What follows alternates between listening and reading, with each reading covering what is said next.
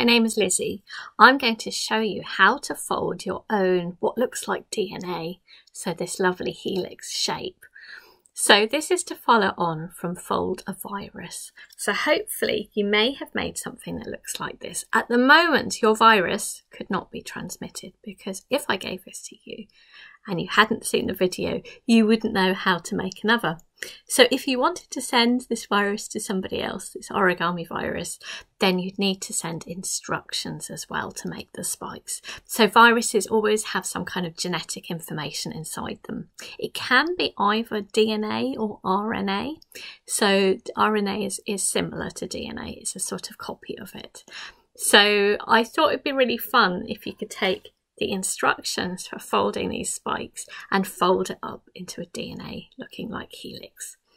So you may already, hopefully, you may have this sheet which has a strip. So this is showing how you folded the spike. And what we'll do is we'll cut it out and I will show you how to fold it. It's a really simple principle. Now, if you haven't, if, if you haven't got a printer, I will show you how to do this as well from just any piece of paper. So first of all, I will show you with these instructions. Grab yourself something to press on and I'm just going to cut this out first of all.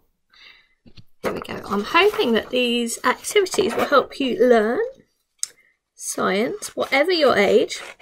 Find the beauty and magic in how extraordinary our body is and how scientists are learning and finding out more pathologists, those people who study disease, and how that hope, how that science brings us hope for vaccines to protect us, which is all about actually how your own body works. There we go. So I'm cutting out this strip, and if I was wanting to give my virus to somebody else to make their viruses, then I would need to include these instructions for making those spikes. So I wonder if we can see in the background. I have drawn, I've drawn all of these things. There's little tiny marks. So there's sort of lines along here that go vertically. And then there's also diagonal lines. And that will give the sort of turn of the helix. So how to do this? It's quite a simple principle actually. It's quite a fun thing to do. Again, it's engineering. So every time I have drawn the horizontal as if they're valley folds, they go in. So all I'm doing is every time you see the horizontal, just fold it over like so. And the same with the next one. I can see a little mark there. So I'm folding that. You'll also find as you fold it, it sort of matches up. Really nice one for concentration. You'll end up with something rather lovely at the end of it. I can see the next little marks there. So what to do if you haven't got a printer, I can show you as well because it's more of a principle. I'm keen to show you ideas, which is also what science is about. Encouraging you to think and understand. There we go. Right, I would keep going. There we go. Hope this is working for you. So each time I'm just folding down. Nice and exact. And actually you can see I am lining up along those other little marks. You'll see as you do it. I think with anything like this, it's only by doing it yourself that you'll start to understand. There's quite a few marks, aren't there? I think I'll just show you a few and stop there. So I've done all these little little uh, folds inwards.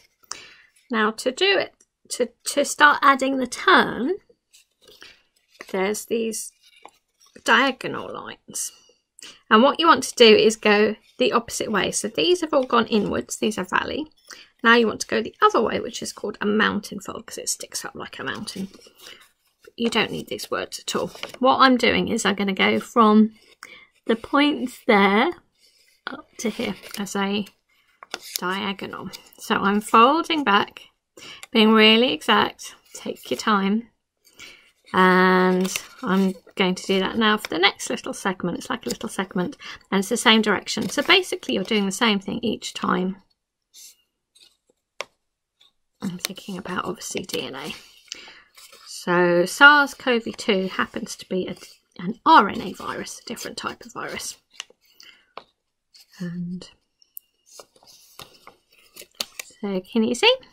So each time I'm going through each of these little segments and I'm matching up that corner to that corner. It's basically just doing the same thing each time.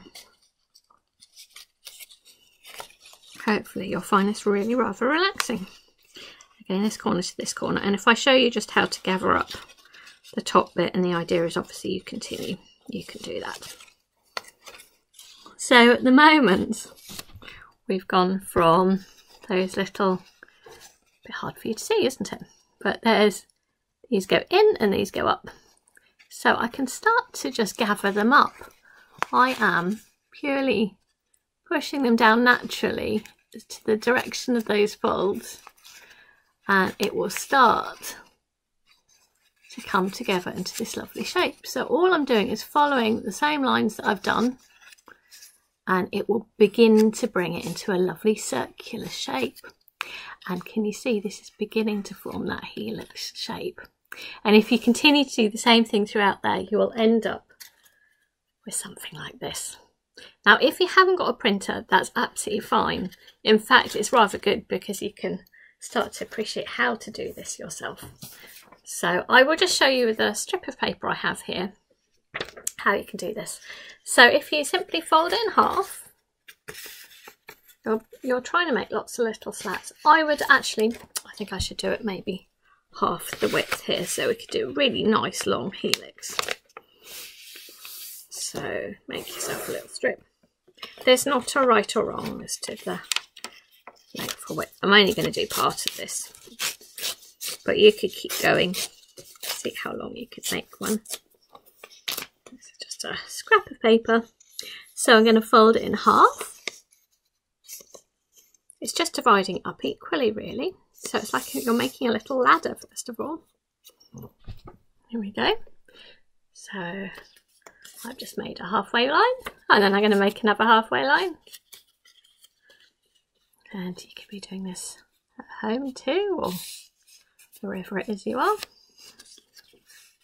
That's right. And I'm just dividing up and just being really exact. That's it really. So that's almost the ladders, those horizontal lines.